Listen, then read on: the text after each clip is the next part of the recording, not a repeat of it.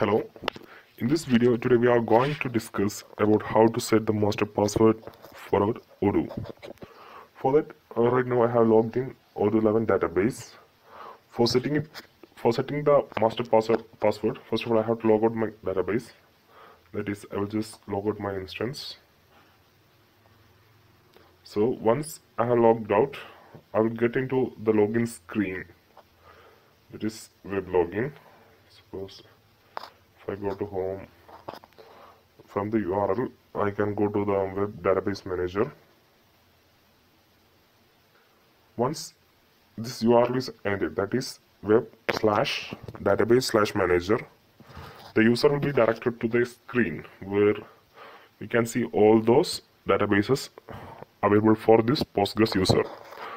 Currently I have only one database for this Postgres user so it's only there.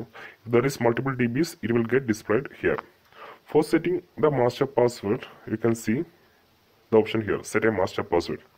First of all you have to read the warning message fully. Warning your Odoo manager is not protected. That means it is vulnerable to the attackers. If the master password is not set the issue is that one who access the system with this database can backup the copy of our database. If our database contain many informations like uh, customer credentials customer emails customer bank accounts like, like details a third party person or a, attacker can easily take a backup of database from here. By just clicking this backup he will get a zip format of the backup. Or he can even destroy the database by clicking this delete button by clicking this delete the database will get deleted.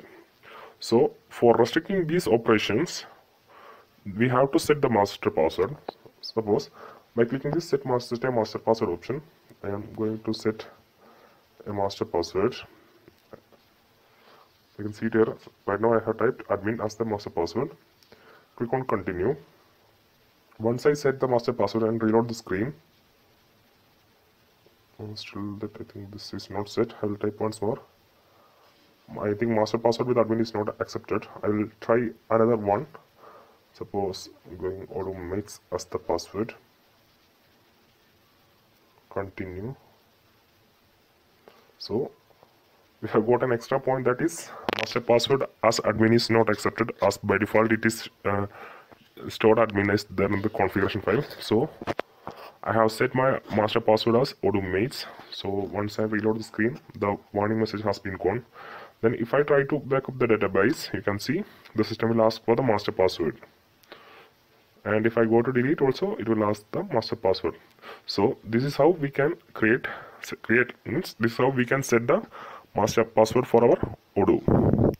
So thank you. If you have any queries, you can comment it out and we will reply you as soon as possible. Thank you.